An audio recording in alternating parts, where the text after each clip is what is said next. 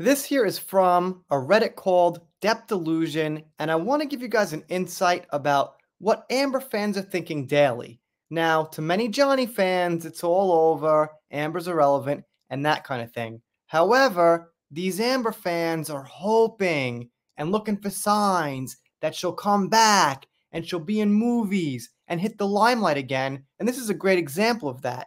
It's from about a day ago, which is around June 10th or something.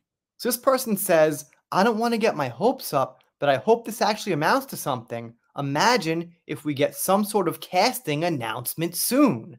Now, the thing is, this account here on Instagram, Letterboxd, followed Amber, apparently. Now, they're following 2,700 people, so it's not some great accomplishment. Looks like they got an app and things like that to help you track movies you watched. So, generally, just some app about movies and entertainment and things like that. But 1.3 million followers ain't so bad. So, this person says, I know a couple of people who work for Letterboxd, and they're the kind of people I can imagine being pro Amber. They're not like best buddies or anything, but they're like trusted acquaintances. I don't think it means anything more than someone on the social media team is pro Amber, knowing a little about how the site runs through discussions with these people I know. I don't think it means casting announcements coming soon. Well, yeah, gotta give you a no shit on that guy. Not sure why they followed her anyway, but they did. Who knows? I gotta agree, probably just some pro Amber fan or something working behind the scenes and they just took the account and followed. Their video editor, AJ, called out Depp as an abuser on his podcast. Can't remember which episode, but in no uncertain terms, he and his co host identified Depp as the abuser and Amber as the victim, of course. Echoing this, still really good stuff though. They don't follow Depp either. Ooh, because Depp needs Letterboxd following him, doesn't he? I wish Letterboxd followed me any public support is good. Yeah, I mean, sure.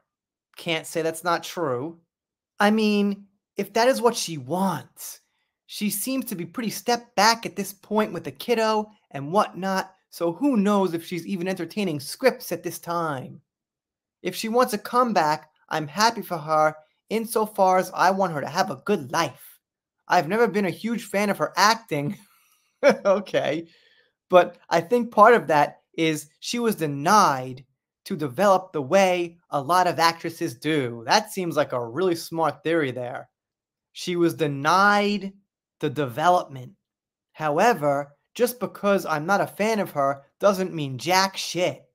It seems like a foreign concept to the Depp supporters. They assume that anyone who believes Amber is automatically in love and blind to any flaws the way they are. Right this person has not done their homework. I've said a thousand times, I'm a casual Depp fan. I've become more of a fan a little bit by making like 1500 videos on him. But yeah, basically, I'm surface level for the most part.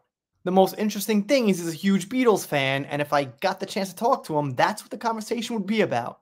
It's because the only reason they side with Depp is that they're in love with him. Like I said, they got me. That's what it must be. They can't fathom us supporting someone simply because they're a human being who didn't deserve what happened to them.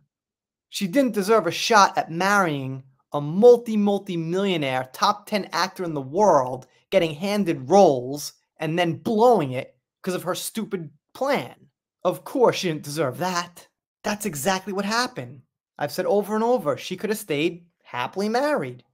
Or at least just married without this friction and dog smuggling and poo poos on beds and whatever else it was. She could have just had a good life with Johnny. But she chose to contact the Washington Post, and the rest is history. Anyway, like I said, I found it interesting to find insight of what's going on now in the minds of these, well, somewhat out of reality people. Let me know what you think in the comments. If you're not subscribed here, consider it. If you don't, I'll be sad, but I'll get over it. See you next time.